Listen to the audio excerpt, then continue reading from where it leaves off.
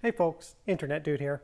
Hey, so the day after I shot that video where I gave you an intro to this 2007 town car, I had a problem and most noticeably the, the remote stopped working for locking and unlocking the doors and popping the trunk. And you saw in my video, I used that remote to pop the trunk. So what I did was I was trying to figure out, okay, well, what works, what doesn't work? And I got this little list and I wrote down, oh, you know, this works, this doesn't work. But at the end of the day here, um, the issue was uh, the power door locks didn't work. Um, the memory seat didn't work. The dome light didn't work when you open the door. Uh, the trunk door button didn't work. The power mirrors didn't work. The keypad on the outside didn't work. Uh, and then um, when you put the car in drive, it doesn't lock the doors. So I made this list of what works and what doesn't work, and that's a good step to do when you're troubleshooting. Uh, the next thing I did was I got from the owner's manual, I was like, okay, what fuses have to do with this system? I checked all the fuses. All the fuses were fine. And I'm like, okay, well, I don't know what the problem is here. The fuses are good. And so then next I checked the wires in the driver's door because sometimes those wires can get broken or um, cracked and my wires were fine. So I now know the wiring is good, there's power there. Uh, what else could be the problem? So that led me to do some searching on the internet because I'm new to these Panther cars. Uh, this one being a town car. The Mercury Grand Marquis and the Ford Crown Victoria are also considered Panther cars. They're on the same platform. And what I found is some other people were having similar issues with a bunch of electrical quirks, let's call it. And the problem actually traces back to this module that's in the door, in the driver's door. Uh, it has a connector here, connector here, and a connector here, and that depends on your year. But if we look at it, it's actually labeled driver door module. Well, so what I did is uh, I took off the door panel and I took out the module. And when you take out the module, this is what you get inside of there. I kind of opened it up because I was looking to see if there's any problems with the um, circuit board. And I couldn't visually see any issues with the circuit board but that's not you know a visual inspection is just part of the part of the thing here.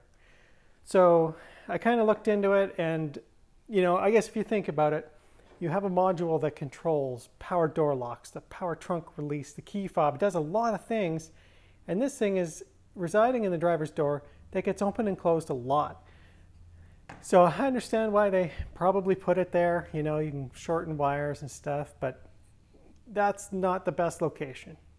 Anyway, so what I did is when I went online and it turns out that what you can do is simply buy a new module. Now you can't buy the exact module um, like new. What you have to do is buy the current uh, part number, like you can't just buy that part number now. You buy this part and you have the dealer program it. Now the cost for this is $530 Canadian approximate, just for the replacement module. And then there's of course the labor programming time to uh, program the module. So what I found out online is that if you find a car with the same configuration and you swap it, it's probably going to work. It, you know, provided that replacement part uh, from the used car is, uh, is working. So what I did is I did some research and I tried to figure out, okay, well, my car is a signature limited model and I looked in the uh, a PDF of the brochure for that year. I'm like, okay, well, what options the signature limited has that, uh, you know, correlate to this issue I'm having? Like, and so I'm like, okay, full power trunk lid, I have that. You know, mirrors with the memory setting, um, easy entrance, exit, power driver seat with memory and stuff. So what I determined is I should get a replacement part from a Signature Limited or higher. So we have the designer here. And I'll probably be fine. But if I go from the base Signature trim level, it may not work. So then I set out to find the correct replacement part and I went to carpart.com with a hyphen. I'm not affiliated, this is not sponsored. So I searched on there and I found the same trim level of car, Signature Limited, um, same year. And so I purchased that module, and that's what I have here. This is the replacement module. But it took some time to get here. See, it says town car, left front door. That's probably stock number or something. So this one's actually the replacement part. This is a used part. I don't know if it's any good right now. We're going to find out. The other one that I've already opened up here, this is the original out of the car. One more part to this story is that in the car right now, I have a driver's door module or DDM from a 2006 signature level town car because in the meantime, while I was waiting for that new part, the new used part to arrive, uh, I went to the nearest junkyard and they had um, the one year off signature car. So I thought, well, I'll throw it in, we'll see what happens. So I actually already did that. I took the door panel off, I replaced that module uh, and plugged it in. And sure enough, some of the features worked for me and some didn't. So anything to do with the, the power, uh, the memory settings. So the mirrors um, won't work and something to do with the seat. Yeah, the seat won't work either. But the trunk will pop now. The lights will illuminate when the door is opened and the power locks work. So i will just show you real quick kind of how to get at this module now. And I'll replace it with that one that I hope is working and good because this part from the junkyard, uh, it cost me about $110 with shipping and tax. And, uh, you know, I was looking at probably at least $600 to just go into the dealer and say, hey, I need this replaced.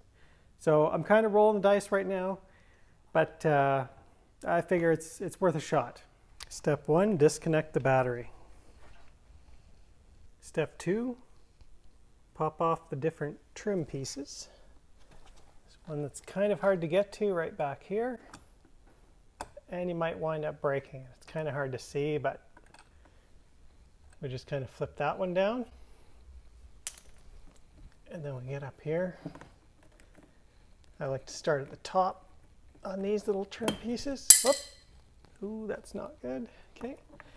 And then get behind this one. There you go. Those just have little tabs on them. There's just two Phillips screws on this handle. The longer one goes towards the back of the door.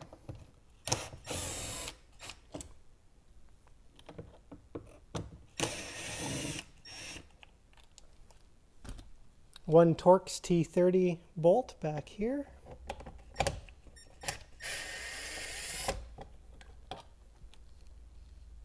And there are three screws in the bottom of the door panel, one up here, one right here, one back here. Just remove those.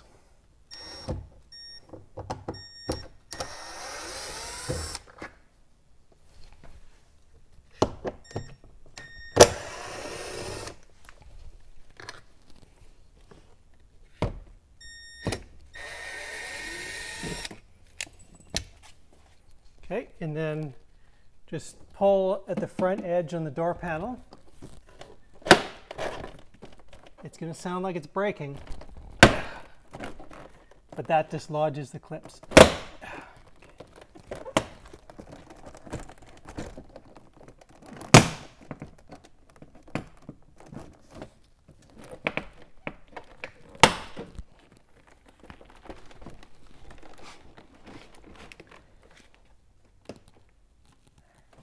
So as you can see, I didn't have to do anything with the power window switches or anything.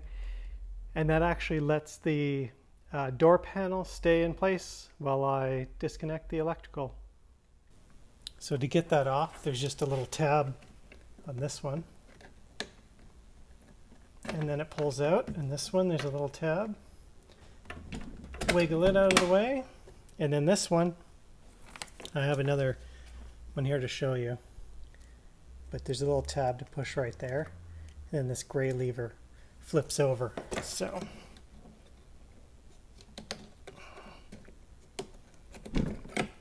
like that, and that pushes the connector down.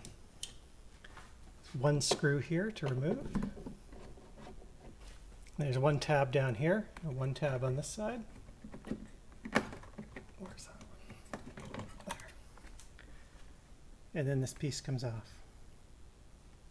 All right, so here's all three DDM or driver door modules that I wound up with. The original that's failed. The replacement from the local junkyard that was a different trim level. And then the one I got from the uh, far away junkyard. And if you actually look at the part numbers, 6W1T, 6W1T, 6W1T, 13C791BB, 13C791BB. So what you'll note from this is even though the part number is the same, it doesn't necessarily mean it's going to work. You need to match up the features from the donor car to your car. Feature set doesn't match on a signature with signature limited, and this was signature limited. So I have my fingers crossed that I'm going to plug this in and everything will work great.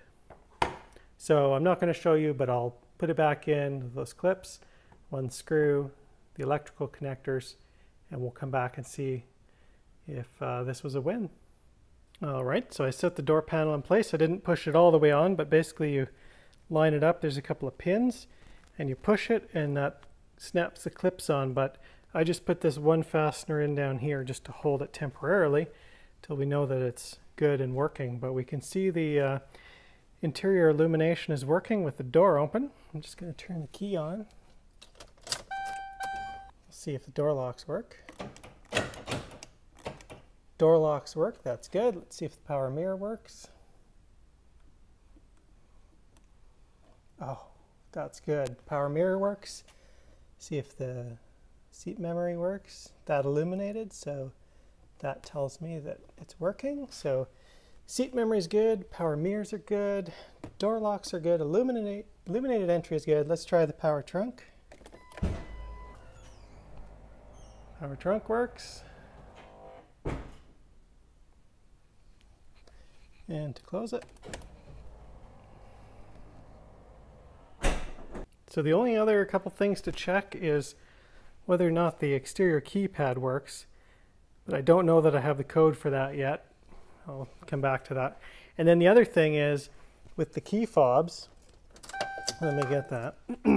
so the fob shouldn't work right now because the key fob actually gets programmed to the DDM.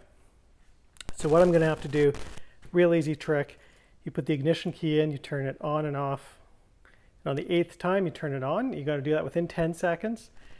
And you leave it on and then the door locks will activate and then you hit one button on this remote and then the locks will um, indicate, they'll go up and down to indicate that was programmed and then within a few seconds you can press if you have another remote and that programs the remotes to the DDM. Just a note that DDM is not, uh, there's no VIN associated with that uh, DDM, uh, which is kind of a nice thing. But if you take it to the dealer, it's going to be a really expensive repair. So I would recommend you try this route first.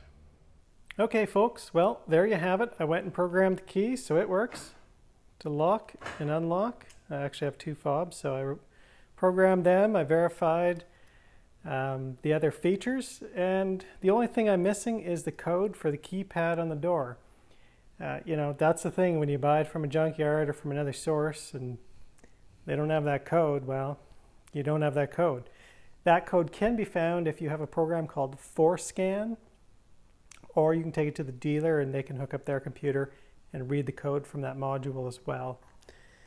So I hope this video has helped you if you're having random electrical problems and it can possibly be traced back to that driver's door module.